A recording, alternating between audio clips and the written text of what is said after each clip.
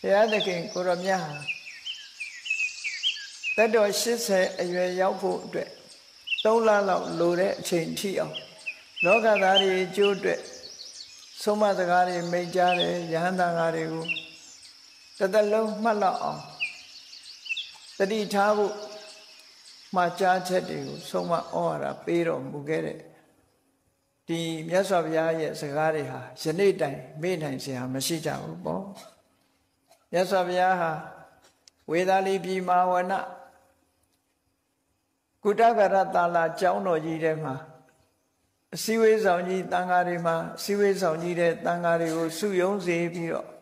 ဆုံးမဩဝါဒပေးခဲ့တယ်ဆုံးမဩဝါဒပေးပြီးတော့တတိပေးတဲ့အနေနဲ့ဏိကုံးချုပ်အနေနဲ့ဘာပြောလဲလို့ဆိုရင်ခန္ဓာဒါနိဘိက္ခွေအမန္တယာမိဝော အတိဘေကငါပွင့်ပွင့်လင်းလင်းပြောမယ်တဲ့ယဟန်နေပွင့်ပွင့်လင်းလင်းပြောမယ်အနှစ်ချုပ်ပြီးတော့ငါဘုရားရဲ့အဆုံးအမတွေအနှစ်ချုပ်ပြီးတော့ပြောဘာလဲလို့ဆိုရင်ဝေယဓမ္မသင်္ခါရသင်္ခါရဆိုတာအကြောင်းတရားတွေကပေါင်းစပ်ပြီးတော့ထုတ်လုပ်ထားတဲ့အရာတွေ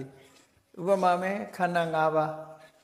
လူတွေရထားတဲ့ခန္ဓာ၅ပါးဆိုတာသူ့ဘာသူဖြစ်လာတာမဟုတ်ဘူး ကံစိတ်ဥဒုအာဟာရစတဲ့အကြောင်းတရားတွေကနေစုပေါင်းပြီးတော့ဖန်တီးထားတဲ့အရာသာဖြစ်တယ်အဲ့ဒါလို့သင်္ခါရတရားတွေအကြောင်းတရားတွေကပေါင်းစပ်ပြုပြင်ပြီးဖန်တီးထားတဲ့သင်္ခါရတရားတွေမှန်သမျှဟာဝယဓမ္မဖြစ်လာပြီးတဲ့နောက်ပျက်စီးသွားတဲ့သဘောရှိတယ်ဘယ်တော့မှတည်မြဲတဲ့အနေအထားမရှိဘူးဆိုတာဟာစွဲနေအောင်မှတ်သားထားဖို့လိုအပ်တယ်ဘု န်းကြီးတို့တွေရထားတဲ့ခန္ဓာ၅ပါးဆိုတာသင်္ခါရပဲကံကနေပြီးတော့တဏှာတို့ဥပါဒံတို့အဝိဇ္ဇာတို့ဆိုတဲ့ပရိစ္ဆသမုပ္ပါနဲ့ပြောမယ်ဆိုရင်အဝိဇ္ဇာပစ္စယသင်္ခါရသင်္ခါရပစ္စယဝိညာဏလို့ဆိုတဲ့အတိုင်းအမှန်မသိမှုအဝိဇ္ဇာရဲ့လွှမ်းမိုးချုပ်ကင်ထားမှုထိုလွှမ်းမိုးချုပ်ကင်ထားမှုအောက်မှာ လုံးမိလုံးရလုံးတယ်ဆိုတဲ့သင်္ခါရအဲ့တော့အဝိဇ္ဇာကကိလေသာသင်္ခါရကကံဟောဒီကံနဲ့ကိလေသာနှစ်ရပ်ပေါင်းစပ်ပြီးတော့ထုတ်လုပ်လိုက်တာလူတွေရဲ့ဘဝအစဝိညာဉ်လို့ခေါ်တဲ့ပရိသေစိတ်လေးပဲဖြစ်တယ်အဲ့ဒီပရိသေစိတ်ကိုထုတ်လုပ်လိုက်ရာကနေပရိသေစိတ်ကနေဆက်နွယ်ပြီးတော့ရုပ်တည်နံနေပါလာ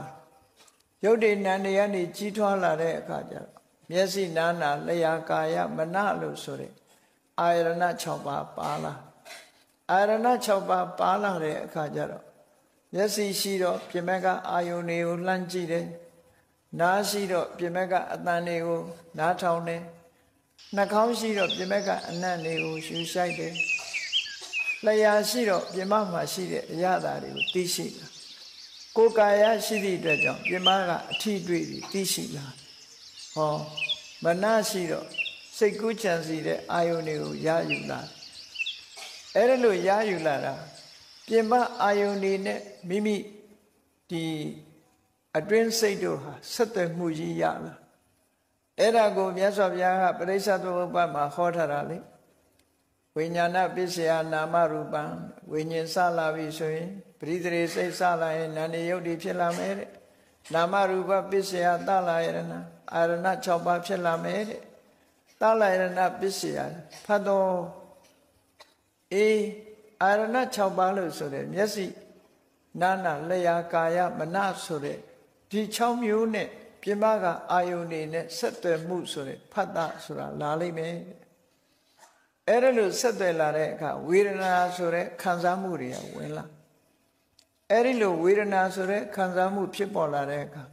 တဏှာဆိုတဲ့လိုချင်တတ်မဲ့မှုတွေဝင်လာပြီးတော့ဥပါဒံဆိုတဲ့ဆွဲလန်းမှုတွေတစ်ခါလာပြန်ဥပါဒနာပစ္စယဘောလို့ဆိုတဲ့အတိုင်းဆွဲလန်းမှုကိုအကြောင်းပြုပြီးတော့